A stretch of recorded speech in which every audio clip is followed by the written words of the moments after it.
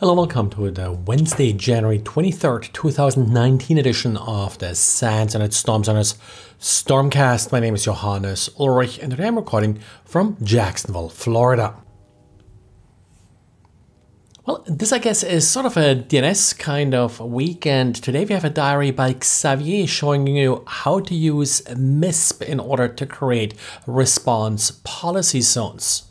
So MISP used to stand for Malware Information Sharing Platform, but they really see it now sort of as an open source threat intelligence platform. So more than malware, you can collect things like IP addresses, hashes, uh, host names, and associated information about uh, various uh, malicious events. Now, the script that Xavier posted will allow you to export data from MISP and turn it into a response policy zone. So these response policy zones are a feature in DNS servers that allow you to overwrite how the DNS server would normally respond. So for all of these malicious host names, you can tell the DNS server now to actually respond with an IP address that, for example, points to a sensor that will then alert you whenever a user does connect to it.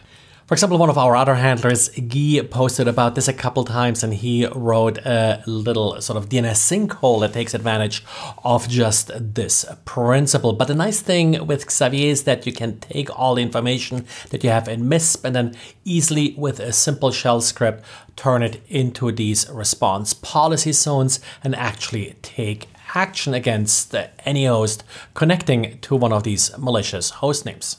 And yes, uh, this method is also often called DNS firewalling because essentially you're using your DNS server to block outbound requests.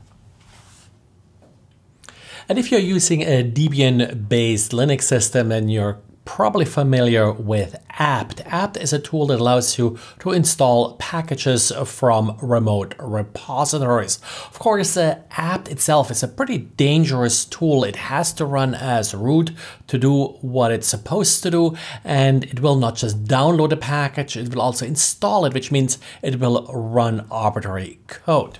So it may surprise you somewhat that a lot of this happens over HTTP. Most of the commonly used uh, Debian repositories use HTTP instead of HTTPS, in part because you often download large files from these repositories and the maintainers would like to encourage people to locally cache this content. Now, to still keep stuff secure, they do use hashes, they do use digital signatures in order to protect the integrity of any downloads. However, it appears that anything but the very most recent version of apt has a vulnerability that does not properly check the signatures. And the vulnerability here is something that actually is quite common in that the signatures are verified but the entire file is trusted, not just the signed part. If you ever looked at a PGP signed document, you may have seen the begin PGP signature and end PGP signature lines. Anything between those two lines is verified, but then additional content could be added that does not really disturb this signed part of the message and the signature will still verify just fine. And that exactly is what appears to be happening here. An attacker could add additional content in front or after uh, this signature line and apt would just accept it as valid. Now, this vulnerability has just been fixed in order to exploit this. An attacker, of course, would need some form of man-in-the-middle position in order to inject the malicious content or inject redirects. You can actually disable HTTP redirects in apt. That works, but isn't really all that useful because most of the default uh, repositories will redirect you to mirrors. So it will only work if you also change to a non-default repository. So the real solution here is of course to update. Now you have to use apt in order to update. So you have still that one hurdle to overcome and hopefully that'll be done safely. Now, of course, installing packages is always a little bit an exercise in who you trust. And yes, these official repositories are usually where you should go. Well, if you are using PHP and you try to download a package from the official Pear repository, you, this may have failed in the last couple days because pear.php.net was at least temporarily shut down in order to clean up after a compromised installer was actually uploaded and on the site for about the last half year.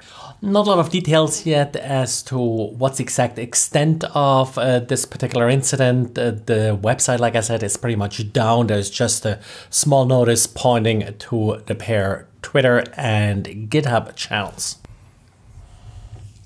And Apple today yet again updated pretty much everything macOS, iOS, watchOS, tvOS. There is also an update for iCloud for Windows. As usual, there is a lot of overlap between uh, those different updates. The couple of vulnerabilities that sort of caught my eye uh, when I was skimming through them earlier. One uh, arbitrary remote code execution vulnerability in Bluetooth. I think that only affects iOS. There is also a vulnerability in FaceTime again, where if you're accepting a FaceTime call, the caller could execute arbitrary code. That affects uh, pretty much all of the operating systems, at least the ones uh, that do uh, support FaceTime. And then again, a lot of WebKit vulnerabilities are being fixed here, so they affect Safari or anything else uh, really on an Apple product that does parse HTML pages. This update also fixes the SQLite vulnerability that was announced last year. Uh, that's an open source library, so this vulnerability has been out there for quite a while and SQLite is used in pretty much all Apple products. Well, uh, that's it for today. And if you happen to be in Jacksonville on Friday, I'll be speaking at the InfraGard meetings at noon or around noon. I think starts 11:30 at the Florida Department of Law Enforcement building close to downtown. Just uh, Google Jacksonville InfraGard and uh, you should find the details. Thanks and talk to you again tomorrow. Bye.